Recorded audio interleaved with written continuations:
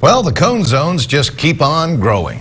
What a summer of construction we have seen in the Bakersfield mm-hmm. area. And construction has begun on Panama Lane from Mountain Vista Drive to Old River Road, closing the eastbound lane in that stretch of the roadway. Work has also started on Old River Road from Panama Lane to Gazelle Creek Lane, closing the southbound lane in that area. Detours have been provided.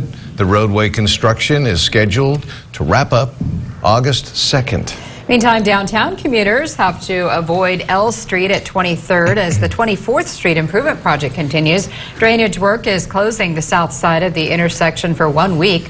Drivers can use K or M streets as a detour. The work isn't expected to affect eastbound lanes of 23rd or westbound lanes of 24th Street.